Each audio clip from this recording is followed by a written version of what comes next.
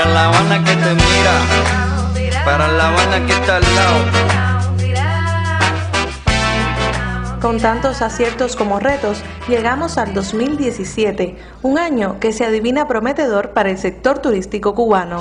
El 2016 se fue dejando un saldo positivo tras batirse el récord de los 4 millones de visitantes extranjeros, 9% más de lo previsto y 14,5 por encima del lustro anterior. Porque yo me siento bien caminando, caminando se consolida como la región de mayor emisión de viajeros a la isla y Canadá continúa encabezando la lista de turistas que apuestan por el destino Cuba.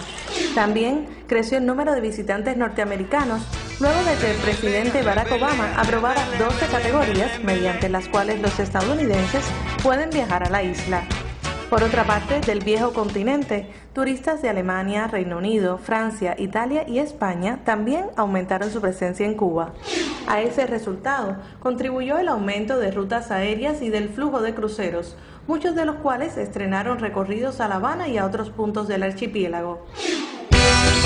Así, arribamos al 2017, con la expectativa de que este año supere al anterior donde los desafíos marcarán la pauta, mientras deviene imprescindible apostar por elevar los estándares de las instalaciones y la calidad de los servicios. Caminando por La Habana